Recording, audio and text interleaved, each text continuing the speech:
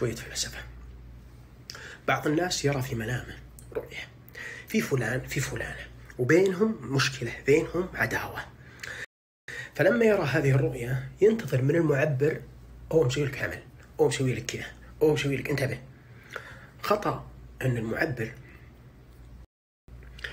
آه، يأخذ بوقائع الحال ويترك الرموز.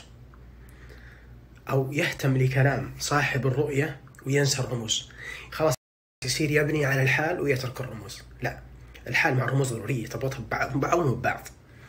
فلانة من الناس شو بحثكم شوف ان اختها اللي بينها وبينها مشكلة وقالت لي قبل إن في مشاكل بينهم. يعني لو أخذت الرؤية كذا على طول بينهم مشاكل ونسيت الرموز خطأ خطأ كبير وبينزل التعبير خطأ بيصير. ممكن تصير تزيد المشكلة مشكلة وممكن أوهمها وهذا خطأ كبير.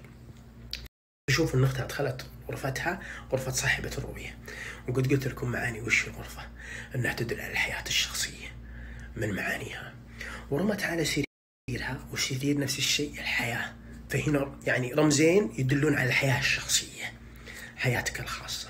سريرها أسرار سرير أسرار حياة خاصة.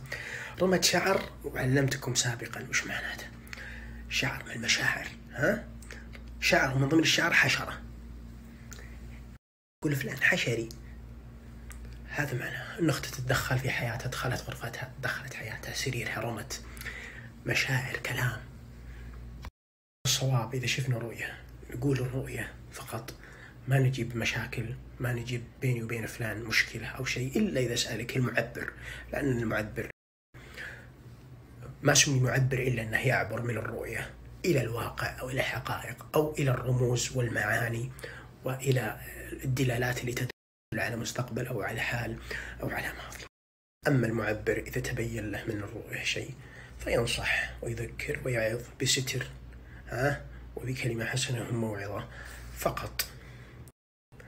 آه كما كان يوسف عليه السلام لما وعظ ونصح الاثنين الفتيين اللي سألوه عن رؤاهم قال يا صاحبي السجن أرباب متفرقون خير أم الله الواحد القهار؟ ما تعبدون من دونه إلا أسماء سميتموها أنتم وآباؤكم ما أنزل الله بها من سلطان.